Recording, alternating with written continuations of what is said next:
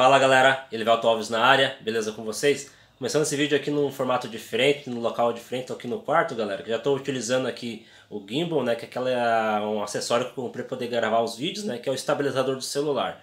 É, vou deixar o vídeo para vocês anterior aqui, que é o mostrando o gimbal, quando chegou para mim certinho, já estou começando a aprender ele a utilizar. Mas bora então pro vídeo, que é o que interessa para nós hoje, galera, para falar que realmente é hora conseguir ali agora é, tirar o vazamento do óleo do meu Gol quadrado. Já vou mostrar para vocês ali, né, ele bem certinho, no local que ele sempre fica aqui em casa, vocês vão ver que não vai ter nenhuma poça d'água poça de óleo, desculpa, mais ali, né? O que que acontece? É, eu levei no mecânico para fazer a troca, né, para verificar que era problema. A gente achou primeiramente que era a tampa ali do, do motor. Ele acabou pegando uma tampa nova, colocou a tampa nova e continuou vazando, né? Aí o que, que ele fez? Ele foi lá e tirou a tampa, né? E, e, viu que continuou vazando mesmo com a tampa nova. Então já, já eliminou a tampa, já sabe que não é a tampa o problema.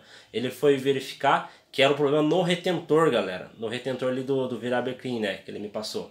Ele então foi lá, comprou o retentor original, colocou lá no, no Gol Quadrado, funcionou ele, andou um pouco, parou na oficina de novo, continuou vazando, galera, entendeu? Então o problema era no retentor, mas mesmo com o retentor novo, original, continuou o vazamento. Aí o que, que ele fez? Como você vê com mecânico de qualidade, né? Ele podia muito bem falar que trocou o retentor e me entregar o carro assim e ia continuar vazando e dar problema. O que, que ele fez? Ele foi num lugar que ele conseguiu encontrar que faz retentor. Ele mandou fazer um retentor certinho ali no diâmetro para colocar no, no meu carro ali no virabrequim para deixar corretamente para não vazar mais óleo. Agora realmente não está mais vazando, né? Ele trocou ali o, o, o o retentor colocou um ali é, sobre, feito sobre medida. O que acontece? O problema é que era o meu virabrequim, ele me passou que está trabalhando um pouco torto. Então, conforme ele vai girando, ele está um pouquinho torto assim, ó. E ele acaba estragando os retentores que colocar lá, por exemplo, colocar o original, ele vai acabar estragando, por isso continua vazando óleo, porque ele já é, trabalha muito é, oscilante, né? Aí ele mandou fazer um outro retentor, ficar ali com a mais justo, ali bem certinho, para encaixar ali no verabrequim, para evitar esse problema. O que, que ele me passou? Pode ser, como o verabrequim está trabalhando torto, pode ser com o tempo volte ali a, a vazar óleo, né? Espero que não aconteça. Mas se voltar ali estragar, já sei que é o problema no virabrequim que está torto, né? Aí ele me passou. Caso eu queira trocar o virabrequim, dá para trocar sem nenhum problema, ele faz o serviço também ali, só que daí a pancada é um pouquinho mais seca, né? Então por isso que eu quero evitar se não acontecer para mim melhor ainda. Mas eu também perguntei para ele, né, o que aconteceria se eu continuasse usando o carro, né, dessa forma que vai virar brequim trabalhando um pouquinho, oscilando ali, acabando estragando os retentores, vazando óleo.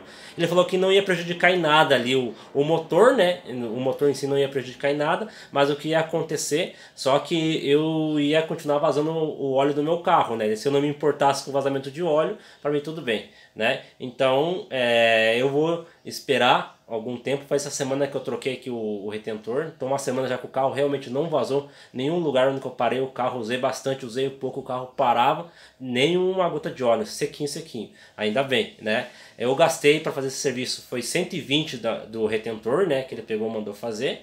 E que mandou numa empresa especializada. E 60 de mão de obra. Então ao total gastei 180 ali para fazer o, o esse serviço ali, deu tudo certo, né? Eu achei que foi até em conta, né? Se você for pensar, ver, se colocar o retentor original não deu certo, trocou a tampa também não deu certo.